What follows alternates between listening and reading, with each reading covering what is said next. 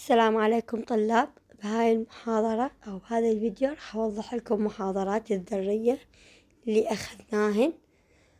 طبعا عذرا إني أن صوتي شوية بس تحملوني. عندنا بالمحاضرة الأولى أخذنا نظرة تاريخية عن اكتشاف الذرة. هي أصلا الفيزياء الذرية هي معناها ندرس الذرة شلون اكتشفوها وضعوا النظريات تفسيرها أول من بدأ يدرس الذرة هما الديمقراطس الديمقراطس هم أغريق. آه، أول ما وضعوا اسمها هي الذرة أوتوم. معناها indivisible اللي هي غير قابلة للفصل. من أسماء كلمة أوتوم معناها غير قابلة للفصل. آه بعدها اللي جو الهنود هم سلطوا أنظار على من على الذرة. وكذلك البريطانيين والعالم جو دالتون هو أول من يعني قدم لنا الذرة على أنه العنصر الأساسي للعناصر يعني الوحدة الأساسية للعناصر الكيميائية. يعني هسه بنقول شنو ذرة؟ أو شو معنات مفهوم كذرة. مفهوم الذرة. شنو هو؟ The unit the basic unit of chemical element. اللي هي العنصر الأس... الوحدة الأساسية للعنصر الكيميائي. عندنا بعد اكتشافات آه، عديدة بالقرن التاسع عشر. إنه الذرة تكون ثابتة. شو معنات ثابتة بالأبعاد؟ صحيح نقول هذا الإلكترون هذه ذرة هلقد عندها إلكترونات هاي الذرة هلقد تحوي على داخلها إلكترون. إلكترونات وبروتونات. هاي غلافها الخارجي يوصل للدي هاي للبي هاي للإس. بس هي الذرة بصورة عامة تكون أبعادها شبيهة ثابتة. هذه حسب من؟ حسب الفرضيات واكتشافات اكتشفوها بالقرن التاسع عشر. عندنا آه الإلكترون. الإلكترون طبعا أول من قدم لنا إياه هو العالم ستوني. بيمن بأساسيات كهربائية كمية كهربائية. تكون حاملة للشحنة السالبة ونقدر نحسبها وكذلك ال elementary charge قد تعطينا شحنة. بس العالم ستوني ايش قال إنه هذه الشحنات تكون permanently attached يعني تكون ثابتة وملامسة لمن للذرة وما تصير ما نقدر نزيلها. إحنا عندنا الكترونات نظرية الحديثة إنه الكترونات تنتقل من أني انطيها طاقة تنتقل بس ستوني من وضع من اكتشفهن اكتشف انهن عبارة عن شحنات تحمل الشحنة السالبة وهذه الإلكترونات شبيهة غير قابلة للفصل عن الذرة. بعد إجا من العالم آه ثومسون. العالم ثومسون طلع لنا سوالنا نظرية يعني حط فرضية. وتجربة عملية حتى يوضع لنا نموذج لوصف الذرة. إنه أنبوبة زجاجية مفرغة من الهواء تحوي بداخلها غاز نبيل يحوي على ذرة عنصر نبيل اللي هو الهالوجين الزينون أي عنصر نبيل. ووضع قطبين على طرفي الأنبوبة أنود وكاثود من وضع الأنود والكاثود بعدها سلط عليها مجال كهربائي وجد أنه يتولد لنا السيل من الشحنات. إحنا عندنا الأنود شحنته موجبة والكاثود شحنته سالبة. فلاحظ أنه الإلكترونات المنبعثة تنبعث من الكاثود لأن إذا وخر الكاثود وحط أنودين ما تولد لي هذا السيل من الشحنات. من يجي يحرك الأنود اللي هو الموجب. نلاحظ إنه الشعاع ينحرف السيل مع الفوتونات أو الإلكترونات دا ينحرف. لذلك قال هذه شحنات هي سالبة لأنه إحنا عندنا اللي ينجذب للسالب موجب واللي ينجذب للموجب شي يكون؟ سالب ينجذب للأنود والأنود شحنته سالب موجبة فإذا هذا السيل من الإلكترونات وشحنته سالبة. اكتشفنا بقتها الإلكترونات. وسلمان إياها شنو الإلكترون بعدها منو إجا؟ إجا العالم ثومسون ثومسون وضع لنا نظرية إنه experiment indicate that إنه قطب أشعة الكاثود تكون جسيماتها موحدة يونيك rather than wave. تكون عبارة عن جسيمات موحدة أكثر مما هي موجة. الذرة أو الجزيئة يعني إنه هي عبارة عن جسيمات وليست أمواج. هي وكذلك آه، حسبنا شحنة الإلكترون. ثومسون وضع لنا واحد من أول الفرضيات أو أول الخطوات لموديل الذرة تركيب الذرة اللي هو التوزيع المنتظم للسبستانس آتوم was إلكترون scattering تشتت الإلكترون with an elastic sphere surrounding by soup of positive charge balance electron charge like bulb surrounded by coding وثومسون هو اللي أول ما وضع عنا الفرضية الأساسية للذرة وافترض أنه الذرة هي عبارة عن يعني كرة وتدور دائما دائرها منو؟ تحيط بها الإلكترونات وتحيط بها منو؟ الإلكترونات. عندنا ورا منو إجا؟ آه رذرفورد هنا نظرية ثومسون اللي هي نظرية بودينج وكذلك قلنا إحنا الذرة هي شحنات تكون متعادلة؟ لذا؟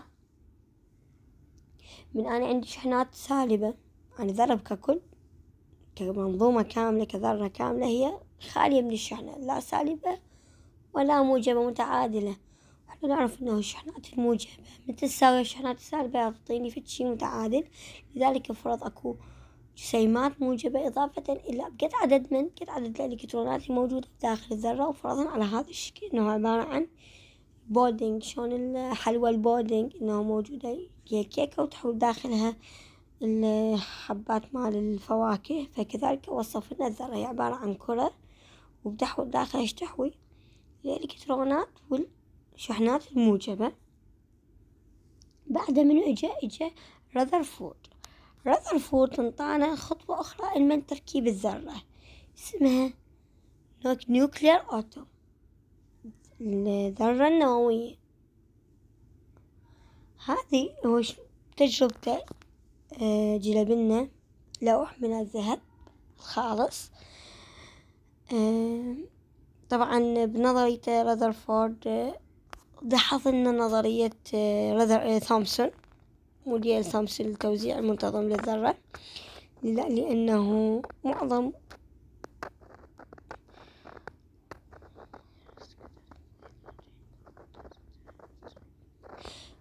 بسبب من طلاب شلون لاحظ يعني سادة أسألك كيف أو رذرفورد أثبت فشل نظرية ثومسون لوصف الذرة؟ شلون فشل؟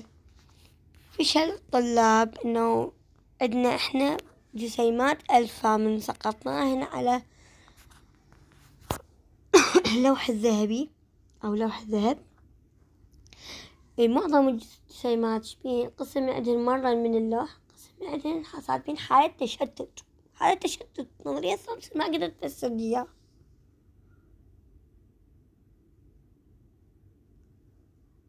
Rutherford knew that the gold atom's mass must be concentrated in a tiny heavy dance.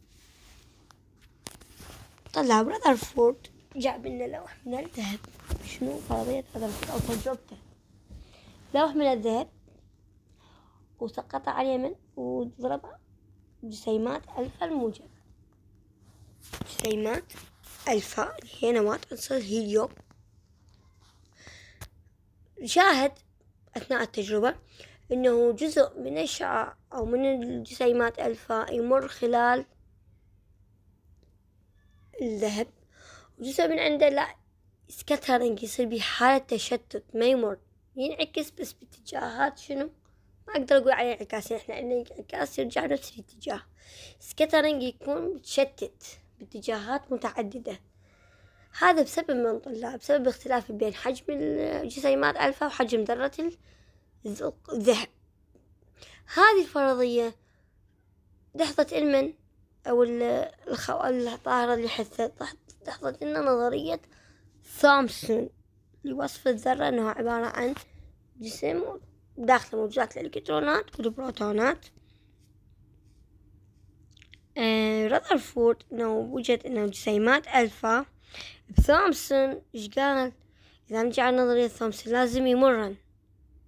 بس إحنا من جربنا من جرب رذرفورد شو وجد؟ لا ما يمر دا يصير عندي حالة تشتت. لذلك وضع أنه فشلت نظرية ثامسون بوضع نموذج وصف للذرة إيه وسبب طبعا جسيمات ألفا أنه تكون موجبة فمن تمر من خلالها أنه أنا عندي حجم ذرة من دا يصطدم بيها. إذا حجم الذرة أكبر من حجم جسيمة ألفا راح يصير جسيمة ألفا سبي أسكتها إذا أصغر من عدة راحت مر تنفذ. وقال إنه وجد حجم الذرة حوالي عشرة أس سالب أربعتاش متر. حجم الذرة الواحدة.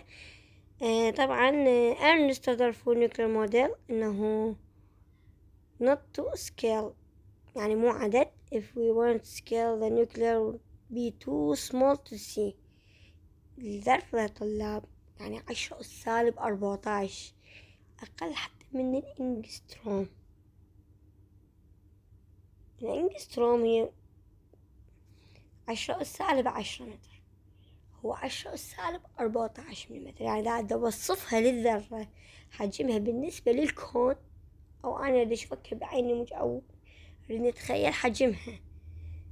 كأنه أنا عندي ملعب كامل مع ال football مع كرة قدم وموجودة بداخله منه.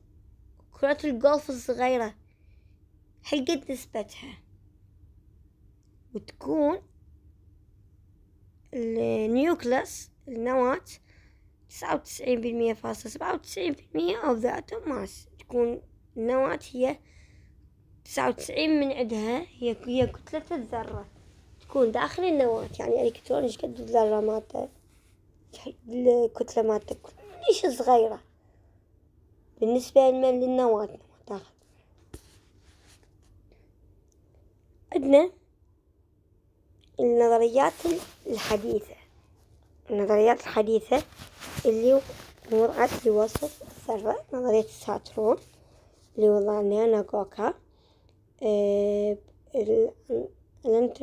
الانتري موديل أوف اتوم انه عندي اني شحنات موجبة موجودات بالمركز.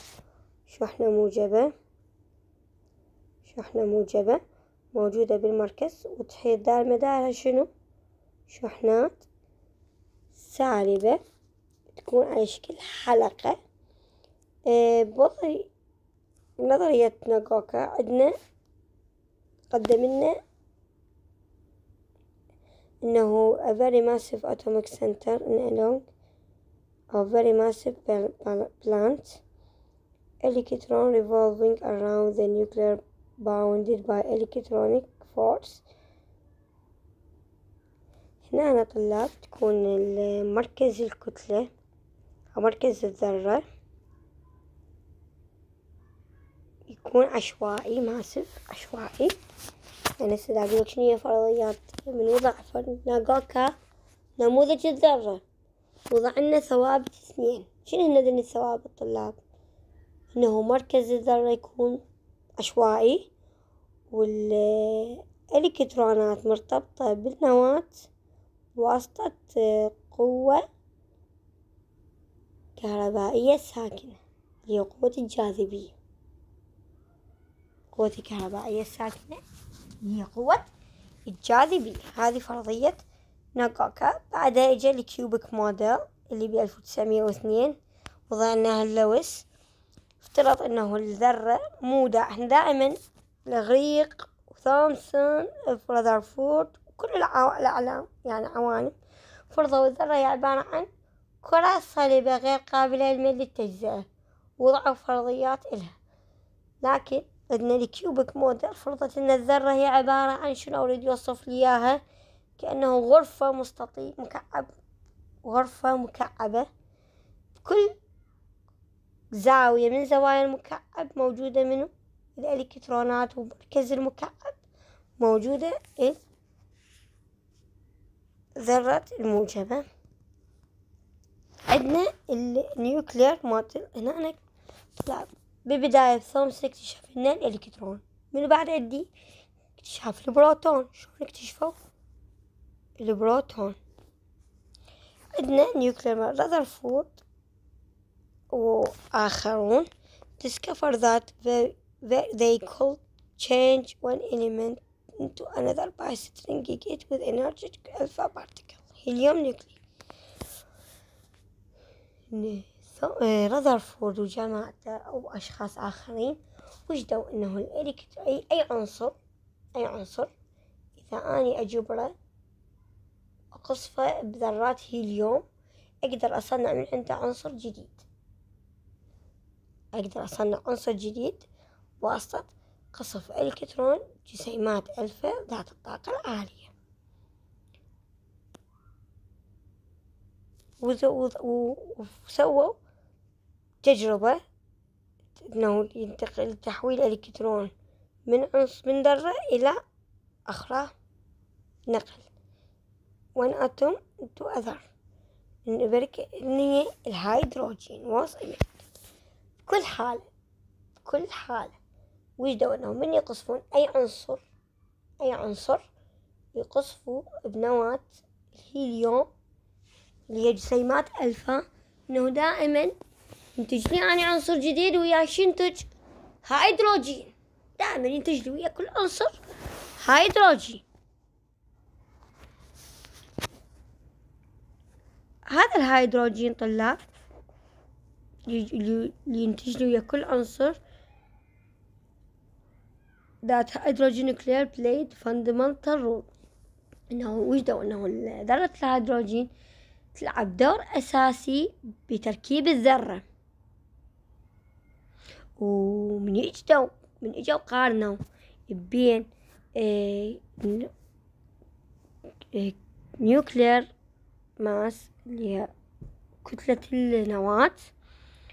للشحنة وش وجدوا that the positive charge of any nuclear could counted by integer number of hydrogen nuclear. من إجا قارنوا شحنة الإلكترون كتلة الإلكترون. ويا كتلة النواة. وجدوا إنه؟ كتلة الإلكترون تساوي لي عدد صحيح من نواة ذرة الهيدروجين. يعني الهيدروجين قد الكتلة مالته؟ أضربها في أعداد صحيحة أوجد كتلة الأكسجين نواة الأكسجين كتلة نواة الكربون وغيرها من العناصر. فلذلك يعني هسه أقول لك سؤال هسه أسأل سؤال. إيه how you could how you could calculate the mass of nuclear of any element. كيف تستطيع حساب كتلة النواة لأي عنصر شو تقول لي by multiply integer number of hydrogen nuclear counted by هاي هذا هذا تعرف مطلب could be accounted for by an integer number of hydrogen nuclear أقدر أحسبها أو نستطيع حسابها. بواسطة حساب عدد ضرب عدد صحيح أو حساب عدد صحيح من نواة ذرة الهيدروجين. يعني شو معنى الطلاب؟ يعني ما نضربهم في واحد في اثنين يعني في ثلاثة في أربعة. مو في واحد ونص في اثنين ونص هذا ما يعتبر integer. عدد صحيح. By the late بالألف وتسعمية وعشرين physicists were regularly referring hydrogen nuclei proton قالوا الفيزيائيين؟ اعتبروا ال الهيدروجين هو البروتون. اعتبروه البروتون. لذلك هنا اكتشاف البروتون. شلون اكتشفوه؟ من محاولة.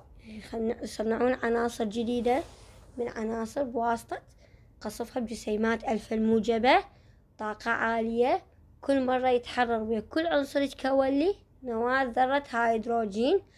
كتلته أو كتلة نواة ذرة كتلة النواة يتم حسابها بواسطة. عدد صحيح من نواة أو من ذرة الهيدروجين. عندنا هسه شو اكتشفوا اكتشفوا الإلكترون. ثامسون رذرفورد وجماعته اكتشفوا لنا البروتون. عندنا بعد أكو جسيمات ثانية موجودة هم داخل الذرة. عندنا إحنا داخل الذرة موجودة البروتونات وبعد وياها جسيمات ثانية هي الجسيمات المتعادلة نيوترون. النيوترون Ernest Rutherford uh, boasted that there were natural massive particles in the nuclear وجد أو وضع فرضية أنه أكو جسيمات عشوائية موجودة داخل النواة اسمها نيوترونات. This conclusion arose from the disparity between the element atomic number proton يساوي الكترون هذه الفرضية اللي وضعها رذرفورد لنا فرضية انه النواة موجودة بداخلها فقط الكترونات وبروتونات. وعدد الإلكترونات يساوي لي عدد من؟ عدد البروتونات. And this atomic mass usually exceeds to the mass of known proton present.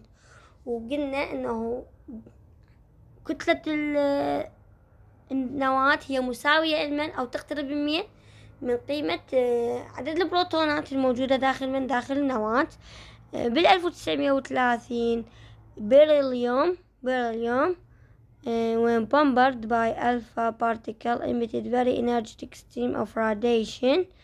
وcheck with the proposed particle was Rutherford nuclear.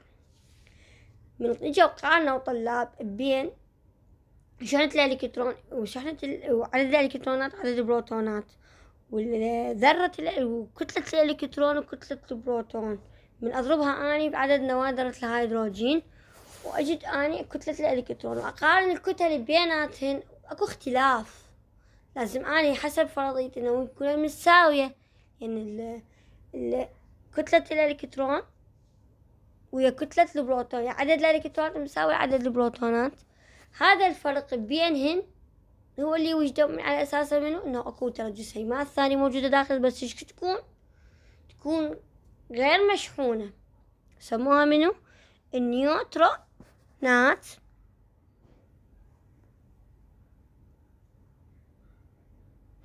nuclear model. هنا أنا طلاب وضعت فرضية ال nuclear إنه هي نواة تكون بداخلها بروتونات ونيوترونات وتحيط دائر مدارها منه ما مدارها الإلكترونات اللي هو نموذج النواة أو أو موديل النواة بألف وتسعمية واثنين وثلاثين هايزنبرغ هايزنبرغ. hypothesis that the nuclei of an atom is built by nucleons. نواة نواة بروتون ونيوترون the mass number of given atomic isotopic is identical its number of nucleus atomic number also now proton number is the number of proton found in nuclear of atom وجدنا منه الماس نمبر العدد الكتلي اللي ينطيني atomic isotopes of identical to its number of nucleus atomic number. ال mass number عدد الكتلي شو ينطينا ينطينا عدد الذرات الموحدة إلى عدد النواة لي وعندنا ال atomic number العدد الذري اللي اسمه عدد الاسم الثاني منه. طلع. ال mass number. ينطينا عدد الذرات المتشابهة أو عدد داخل النواة. عدد الذرات atomic isotopes is identical to its number of nucleus. كل عدد الأنوية الموجودة؟ يساوي لنا عدد الذرات. وعندنا ال atomic number اللي أيضا يعترف يعني اسمه آخر هو proton number عدد البروتونات هو عدد البروتونات الموجودة داخل النواة يعني أقول لك عرف لي atomic number شنو هو عدد البروتونات الموجودة داخل النواة العدد الكتلي هو عدد الذرات اللي موجودة تكون مطابقة إلى عدد النواة تمام؟ آه، بالألف وتسعمية لحد الألف وتسعمية وستين النيوكليوس were thought to be elementary particle. Each which could not have been made of smaller part now they know composite particle made of three quark bound together strong interaction بحد ألف وتسعمية وستين كانوا الجسيمات موجودات بصورة جسيمات آه، عناصر جسيمات بس بعدها وجدتنا شنو المركبات يعني كانوا يعتمدون على على عناصر ولا لا أكو عندنا بعد مو بس عناصر عندنا بعد مركبات ينتجني من دمج عنصرين أو ثلاث عناصر مع بعضهن ويكون بهن تفاعل أو ارتباط قوي. يعني مو فقط عنصر واحد. أكو عندنا بعد شنو؟ عندنا composite particle جسيمات مركبة. مو جسيمات عناصر. عندنا هذه المحاضرة الأولى انتهت هنا طلاب.